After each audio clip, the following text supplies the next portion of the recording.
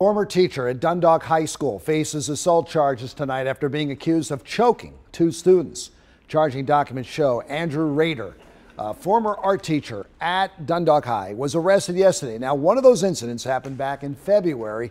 A parent reported it to Baltimore County Police on April the 1st after seeing a video apparently showing Rader putting her child in a chokehold. That's when charges were filed.